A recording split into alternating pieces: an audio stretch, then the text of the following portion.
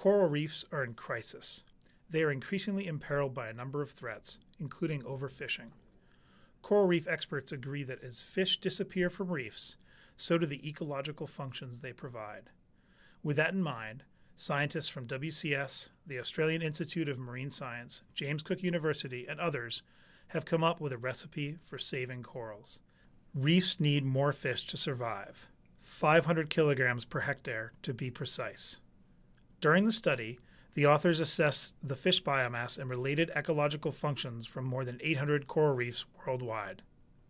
Coral reefs with little or no fishing averaged around 1,000 kilograms of fish biomass per hectare, while reefs overfished to the point of collapse averaged only 100 kilograms per hectare.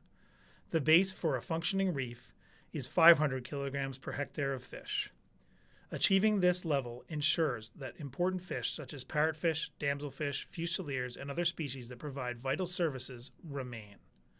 The good news marine managers around the world can use this golden rule of 500 kilograms per hectare as a means of protecting coral reefs from overfishing, which will make corals more resilient to other threats. The bad news is that some 83% of the 823 reefs surveyed failed to meet this critical threshold. This new target for rebuilding coral reef fisheries can help marine managers turn the tide of decline for many of the world's coral reefs. This is Caleb McClennen, WCS Executive Director for Marine Conservation, reporting.